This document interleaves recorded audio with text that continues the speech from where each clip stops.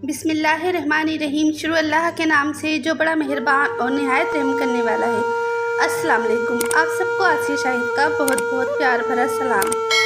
आज मैं कोई वीडियो, कोई रेसिपी लेकर नहीं आई हूँ। आज मैं आप सब, आप सबसे थोड़ा सा आपका कीमती वक्त मांगूँगी। हमारे मुल्क पाकिस्तान का बहुत बुरा हाल है, मगर हमारे हुक्मरान कुछ नहीं कर पा रहे हैं। वो सिर्फ़ मुंतज़र हैं, दूसरे ममालिक की इमदाद के। उनमें इंसानियत ख़त्म हो चुकी है।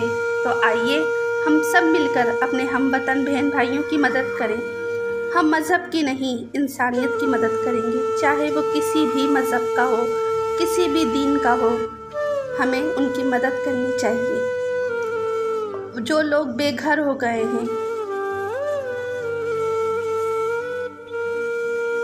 भूख से बिलकते हुए बच्चे हमारी इमदाद के मुंतज़र हैं। तो आइए हम जितनी भी हमारी तौफीक है, हम उसके मुताबिक उन सब की मदद करें। मैं ये नहीं कहूँगी कि हम हज़ारों की मदद कर सकते हैं।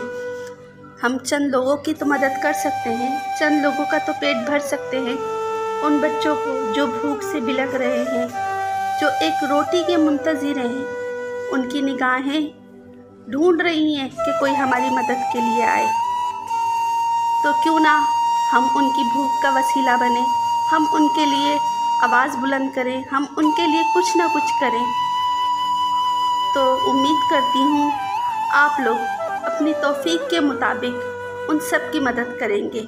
मैंने भी की है, मगर मैं बताना नहीं चाहती कि मैंने उनके लिए क्या किया है, क्योंकि नेकी जितना छुप के की जाए, उतनी ही अच्छी होती है।